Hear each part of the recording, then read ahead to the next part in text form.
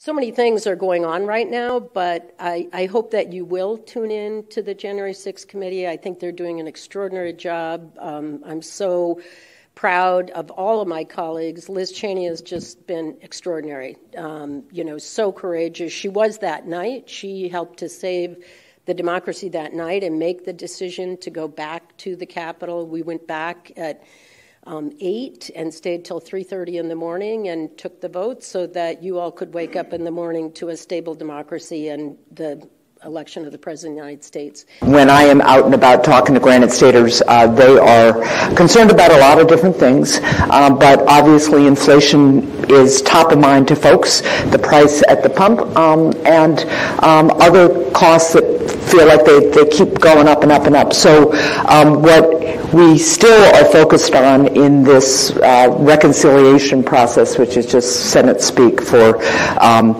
getting budget adjustments through, um, is how we lower the cost of prescription drugs. The fact that rather than getting infrastructure through and then spending the fall of 21 taking a big victory lap on infrastructure. They created this tortured linkage with Build Back Better, spent months with Democrats arguing with each other about uh, who in the Democratic Party is to blame for screwing everything up, then ultimately pass it only because uh, they got whooped in Virginia, and then, you know, by then inflation is the main thing on every voter's mind. I was deeply troubled to learn that a search warrant had been executed at the personal residence of a former president of the United States. I was overseas at the time, traveling with my wife on vacation, but I still felt it was important to weigh in. And I, I called on Attorney General Garland to give the American people a full accounting of the reasons why this action was necessary.